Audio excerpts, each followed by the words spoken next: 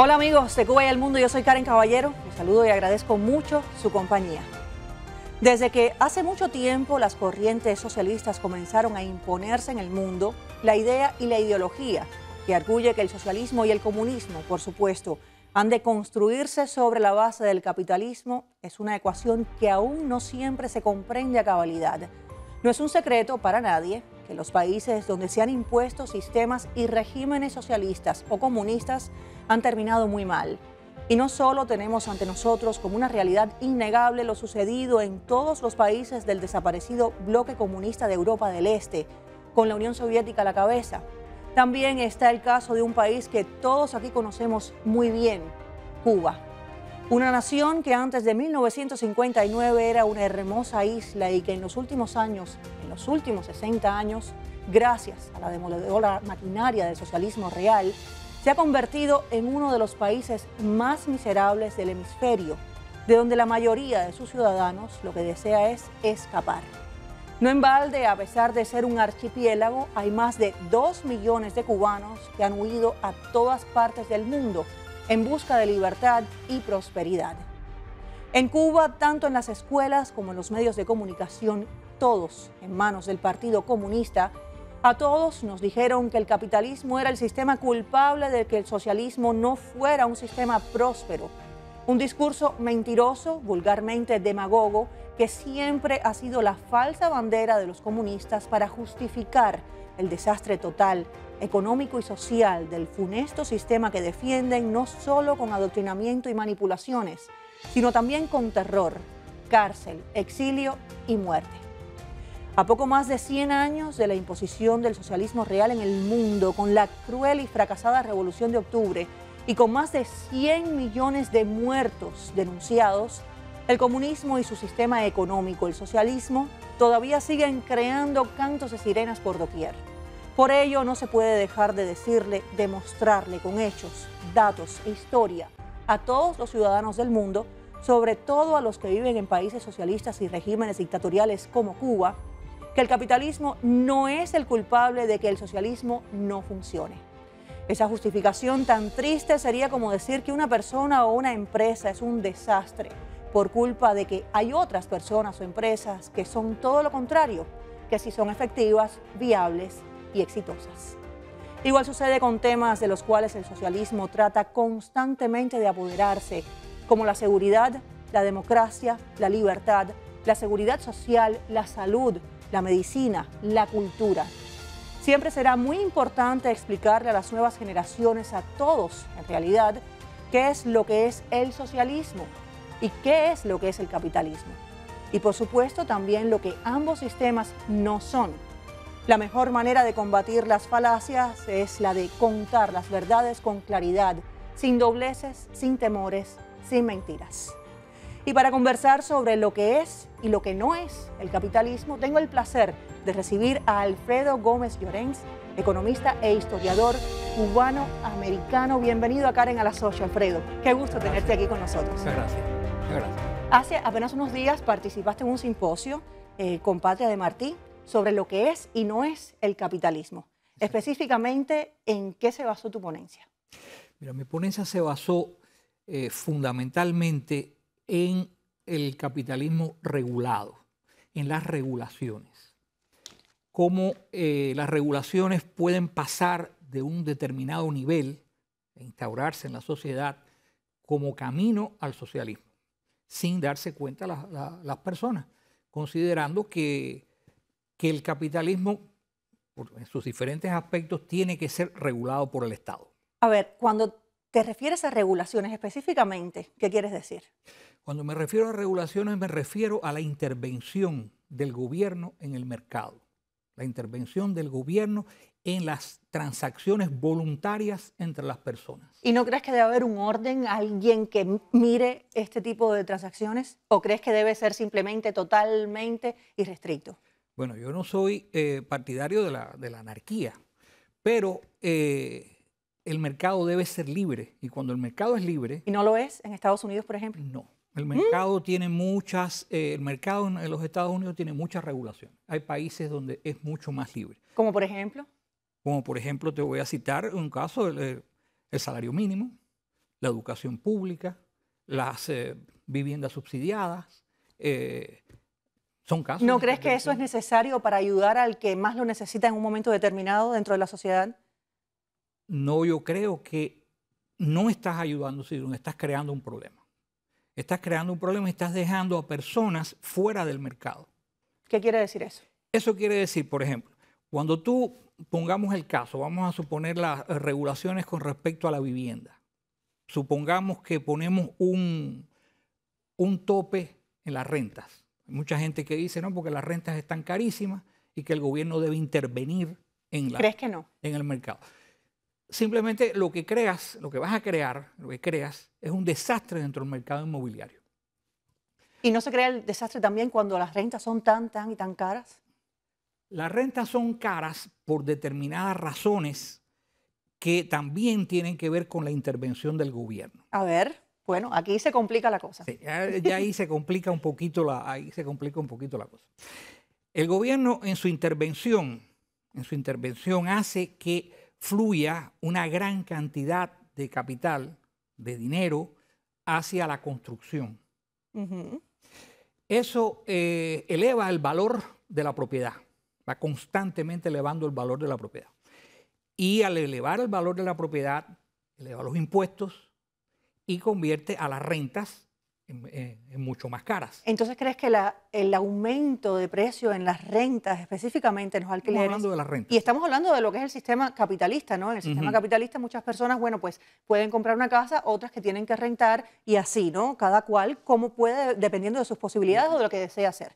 Claro. Eh, el aumento en los precios de las rentas, del alquiler, eh, pues dices tú que depende de los impuestos. Depende del valor de la propiedad y depende de los, de- depende de los impuestos. Porque mientras más vale la propiedad, más altos son los impuestos sobre esa y más, propiedad. y más alta- y más altas son las rentas. Y más cantidad de demanda hay.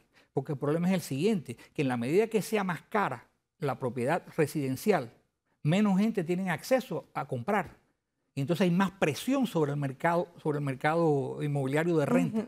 Y eso hace subir, a- eh, empieza a escasear, empieza a crearse una escasez de, de, de habitación rentable. Y eso hace que suban la, que suban la renta. Y por otro lado, los impuestos, la subida de los, la subida de los impuestos. Estás, por supuesto, en contra de subir impuestos.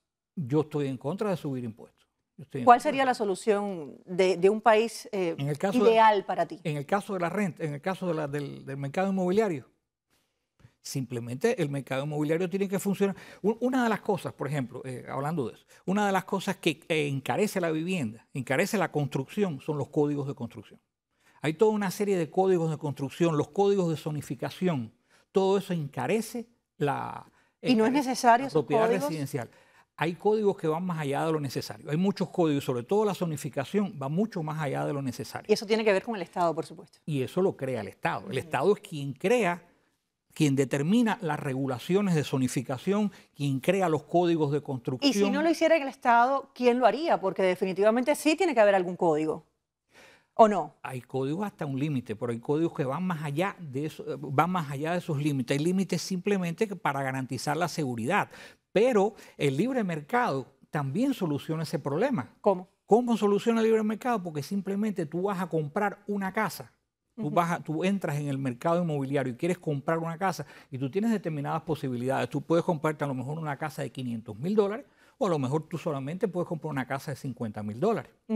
Cuando tú vas a comprar una casa de 50 mil dólares, tú sabes que esa casa no tiene la calidad, o sea, determinada por el mercado, no tiene la calidad que tiene una casa de 500 mil dólares en calidad de construcción. Pero tú, tú lo estás haciendo, tú sabes, y tú, tú- tú no vas engañado.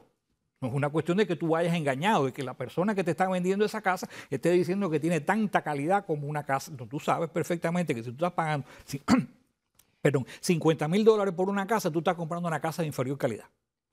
Pero sí deben haber códigos que, pues, no, que no se te Ah, caiga la de eso. eh, pero sí, también hay eh, y la cosa, electricidad, y hay muchas cosas dentro de una Sí, sí. casa Por, por la integridad física de cualquier persona. También hay una cosa, también hay una cosa. Si una persona entra en una casa, compra una casa, y esa casa, e- esa casa se le cae la- el techo en la cabeza, simplemente esa persona puede demandar al constructor.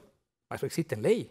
Para eso existen leyes. Entonces, un constructor no va a, no va a, a crear construcciones que sean baratas, construcciones que, sean completamente inseguras, porque se está arriesgando a, ir a la cárcel. Fue...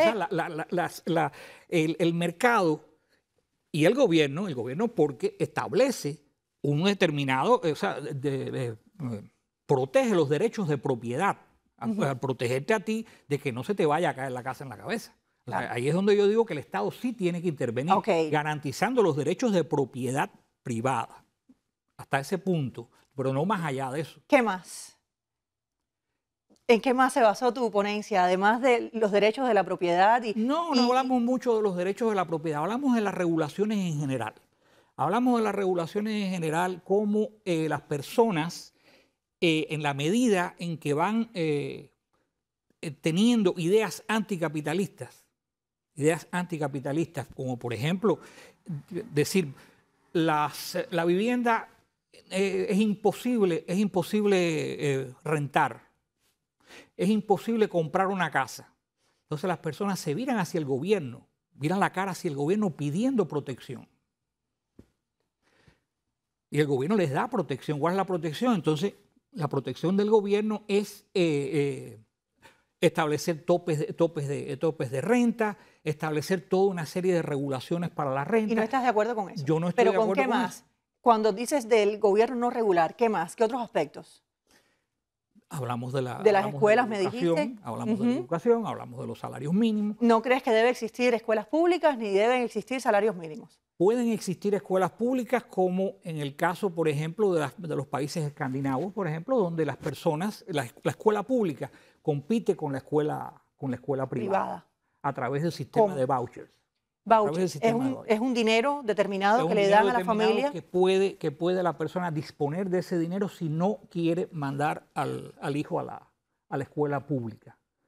Y el Estado le da ese voucher para que pueda escoger la escuela privada de su Pero el Estado sí le da un voucher, o sea, una cierta cantidad de dinero. Sí, porque el Estado... Eh, para ir a la escuela. Para ir a la escuela, para la escuela. Aquí en Estados Unidos, como funciona es que todos los ciudadanos pues pagamos impuestos a favor de las escuelas públicas. Sí. O sea, no es opcional. No es opcional. dentro de todos los impuestos que pagamos, que es alrededor del 30% en Estados Unidos, que sigue siendo más bajo que en estos países, que en los países nórdicos. O sea, que hay como una contradicción, ¿no? Porque me estás poniendo de ejemplo estos países donde reciben vouchers o, o cierta cantidad de dinero para las familias poder mandar a sus hijos a las escuelas y al mismo tiempo los impuestos allá son más altos que aquí en Estados Unidos los impuestos son más altos en los Estados Unidos, pero los impuestos están grabados sobre determinadas cosas. Los impuestos están grabando fundamentalmente el ingreso, el income tax.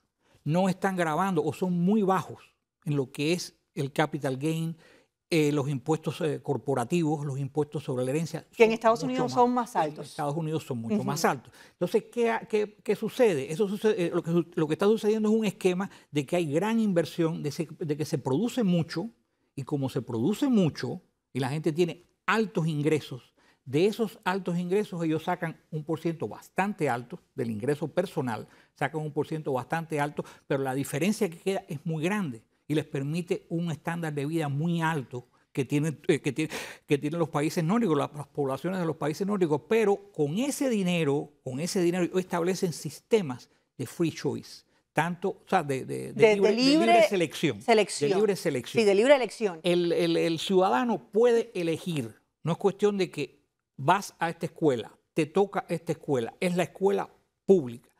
¿Y la salud pública? ¿Cómo es en esos países? La salud pública en esos países igualmente es competitiva. Igualmente es, competitiva. Igualmente es competitiva. Los, eh, existe esa posibilidad donde el sector privado puede competir con el sector público. Y cuando me hablan de socialismo democrático, que es un término que se está usando tanto y que lo escuchamos tanto en los últimos tiempos, y me ponen de ejemplo estos países, ¿realmente es eso de lo que se trata el socialismo democrático? No, el socialismo, el socialismo democrático, si tú te pones a mirar, es una, le, dan la vuelta a la palabra socialdemocracia. Socialdemocracia, socialismo democrático. nada que ver. Nada que ver.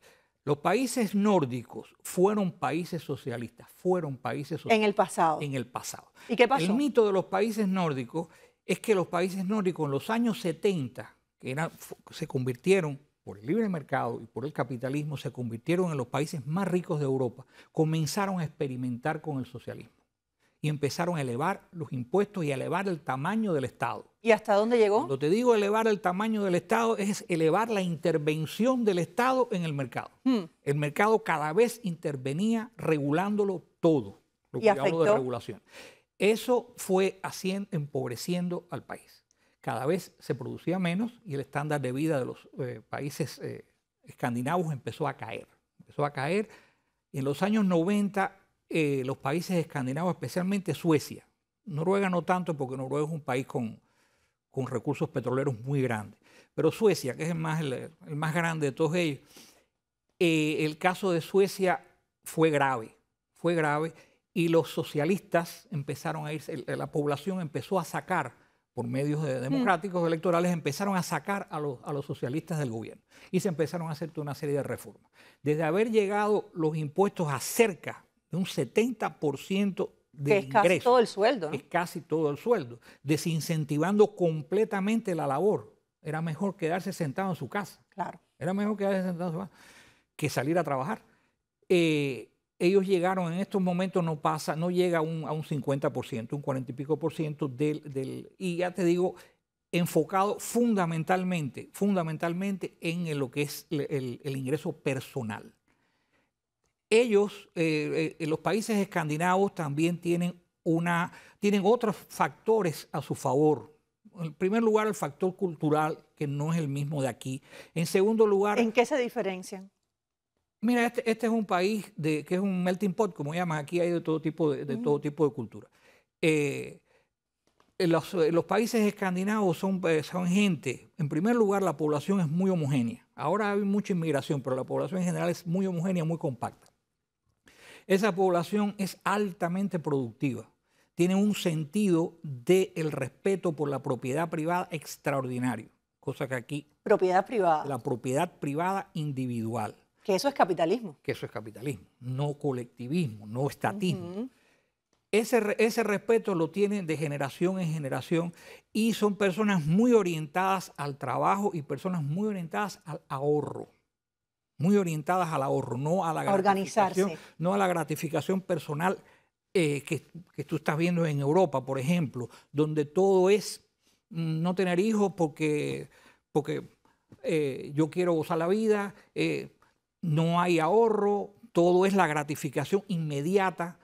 En los países escandinavos la gente son bien ahorrativas, tienen, un, tienen unos elevados niveles de ahorro y tienen una cultura de, respeto por la propiedad privada y de respeto por el derecho de, las demás personas. Entonces, los factores culturales son eh, determinantes a la hora de, pensar en un modelo, en un determinado modelo económico, porque eh, el capitalismo no es solamente una cuestión económica, una cuestión social y política, es una forma de organizar la sociedad está basado en toda una serie de instituciones que son las instituciones de la libertad.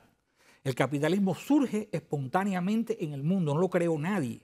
Es el intercambio, es la libertad de trabajar y crear lo que yo quiera e intercambiar lo que yo produzco con otra persona de manera voluntaria, sin que medie una pistola por medio. Usted viene de Cuba, usted es cubano. Vivió muchos años de su vida en Cuba. Gran parte de mi vida en Cuba. Y bueno, en Cuba sabemos que hay un comunismo atroz. Eh, ¿Cómo llegó usted a esta conclusión donde además eh, me está diciendo que en su opinión lo que debe existir en las sociedades para que funcionen mejor es el mínimo eh, gobierno, la, mínima, expresión. La mínima intervención gubernamental. ¿Cómo llega usted a esta conclusión? Bueno, mira, primeramente, en Cuba, viviendo en Cuba, yo me doy cuenta que el sistema cubano es un fracaso.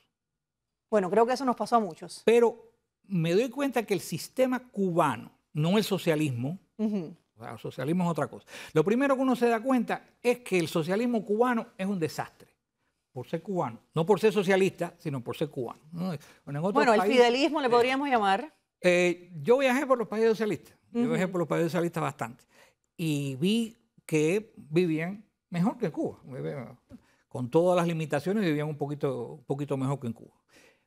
Pero eh, los estudios me llegaron a la, comprensión de que el sistema como, tal no podía funcionar. Fue en base a estudios, no en base a, eh, a experiencia personal, fue en base a estudios. Yo salí de Cuba en varias ocasiones a diferentes países, países capitalistas. Viví en países capitalistas, no, no, no que me había quedado en Cuba, sino que estaba en, en Cuba. Y vi cosas que a mí me hacían pensar mucho. Yo, por ejemplo, por ejemplo, en España, yo estuve un tiempo en España, y había, a mí me llamaba la atención, a mí me gustaba meterme en los supermercados. En los supermercados en Cuba no había nada. Llegaba la vianda y se podría. y- Cuando llegaba. cuando llegaba. Sí. Entonces yo me metí en España y yo veía, por ejemplo, los plátanos. Los plátanos perfectos. No tenían una mancha, no tenían una manchita. Esos plátanos no se cultivaban en España. Venían de Colombia, venían de Costa. Rica, venían importados de miles de millas de distancia, cuando en Cuba, a dos kilómetros, estaba la, la- la siembra de plátano y llegaban podridos a la, Ujú. al puesto de vianda. Eh, yo veía aquello y aquellos plátanos no valían una fortuna. Era, o sea, digo plátanos como digo cualquier cosa. Lo compraba el pueblo, lo compraba cualquiera, lo compraba cualquiera. Todas esas cosas me hacían eh, pensar, ¿cómo es posible esto? ¿Cómo- Algo tan simple como es la algo tan simple. Pero es- eso cotidiano es el, eh, eh, es el análisis económico de lo que lo está rodeando a uno.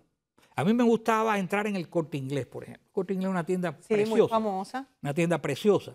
Y yo me deleitaba eh, caminando por el corte inglés viendo precios, sobre todo viendo precios Y y comparando. comparando y eh, haciendo lo, lo que es lo que en economía se llama cálculo económico. Todo eso me llevó a entender la superioridad de la forma no solamente de crear riqueza del capitalismo, sino de distribuir la riqueza, que es lo que se le critica al capitalismo. No tanto la forma como crea la riqueza, aunque ahora se está fomentando mucho la, la crítica la forma como lo crea con el eco- ecosocialismo, etc. Pero sobre todo la forma como lo distribuye estaba al alcance de cualquiera. O sea, no había que ser millonario para entrar en el corte inglés, no había que ser millonario para entrar a comprar uno- uno- unos plátanos, unos platanitos, cualquier cosa Claro. en, en- en una tienda. Y todo eso me fue, eh, yo fui eh, eh, interiorizando todo aquello que me llevó a estudiar.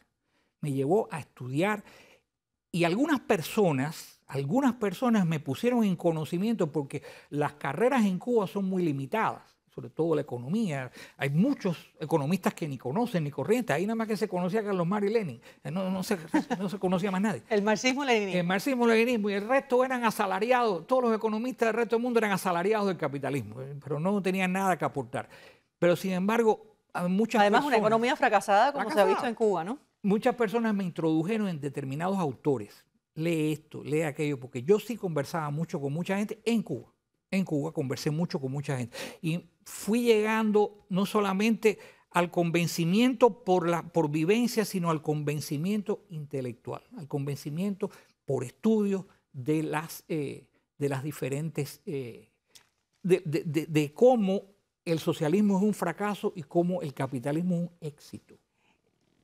A usted no le dicen que usted es controversial. Sí, me lo dicen muchas Todo el tiempo, me imagino. Todo el tiempo, todo el tiempo. Muchas personas a veces mm, me sucede que estoy hablando con personas y me están mirando como, como diciendo, ¿y qué está diciendo este hombre? ¿Y por qué cree usted que el concepto de lo que es el capitalismo pues, se ha convertido en algo tan controversial? El capitalismo se ha convertido en algo tan controversial porque está muy deformado, ¿En qué sentido? muy deformado. Como te hablaba de la, eh, de la distribución del, ca- de- en el capitalismo. Las ideas socialistas del siglo XIX Ujú. eh, eh, antes de Marx y después con Marx y después los, los sucesores de, de Marx en, el- en las ideas socialistas, consideran que el capitalismo es inmoral ¿Por qué? porque crea grandes cantidades de riqueza, pero la distribución es injusta. La distribución de esa riqueza va a parar a un grupito pequeño mientras se muere de hambre el resto de la sociedad. Y actualmente, actualmente la frase, que es una frase que viene del siglo XIX, hacer a los ricos más ricos y a los pobres más pobres, eso está en la, en la mente de muchas personas que sí, ¿Pero es real? no, es, no es real. No es real. Ahí Eso quiero no llegar. es real. ¿Cómo es? Eso no es real. La distribución, el mercado, el mercado capitalista, el libre mercado distribuye equitativa y justamente todo. Todo. Cuando el Estado interviene, se producen esas, esas, deformaciones, como hablábamos en el mercado, en el mercado de, la vivienda, en el mercado residencial, en los salarios mínimos, que crean desempleo. Eh, esa intervención en la espontaneidad, en el funcionamiento automático y espontáneo y libre del mercado, cuando tú intervienes, sencillamente eso es una, una, una tela muy delicada y sencillamente lo que empiezas es a deformarlo y a funcionar mal. Cuando eso empieza a funcionar mal, se va creando lo que se llama el capitalismo de compadres, o sea, los individuos que junto con el Estado, junto con el Estado, mm. crean monopolios, crean real explotación, eso no es capitalismo. Eso es lo que no es capitalismo. Eso es en nuestras conferencias, eso es lo que no es capitalismo. Eso es lo que no es capitalismo y ya nos quedan pocos minutos. De verdad que ha sido muy interesante esta conversación con usted. Eh, pero antes de culminar, bueno, pues quiero hablar del caso específico de Cuba, hablando de capitalismo y de lo que se ha creado, la controversia que se ha creado en torno a, lo que es el capitalismo realmente. Pero en Cuba, por ejemplo, cuando llegó Fidel en el año 59 al poder, eh, pues prometió igualdad para todo, algo que es inhumanamente, o sea, no es posible. Eh, es humanamente imposible. Imposible. Entonces, al mismo tiempo, 60 años después, vemos que sigue el castrismo en el poder con total impunidad, haciendo horrores en todo sentido, tanto sociales como políticos y económicos, pero además vemos la gran diferencia social donde una gran parte de la población, la mayoría de la población cubana vive en la miseria. Y entonces hay una pequeña porción de esa población que son los gobernantes y sus amigos alrededor y aquel uno u otro que ha tenido algún tipo de suerte, pero son muy pocos, que entonces viven como si fuesen grandes capitalistas. Concluya esto para ya terminar el programa. El socialismo crea también una, crea una clase, crea una nueva clase que sustituye a, las, clases, a las clases capitalistas. La clase capitalista son los productores y los no productores. Los no productores son los, son los políticos, tanto en el capitalismo como en el socialismo. En el socialismo existe, esa, existe las clases, la clase política y la clase de los productores. La clase política vive y engorda y se expande a través de, de, succionar la riqueza que crea, eh, que crea el productor. Pues muchísimas gracias. Tenemos que irnos, pero lo invito a seguir conversando. Por favor, en otro momento tiene que volver. Muchísimas gracias. Gracias. Amigos, se acaba el tiempo. Muchísimas gracias a ustedes, como siempre, por acompañarnos. Hasta mañana. Chao.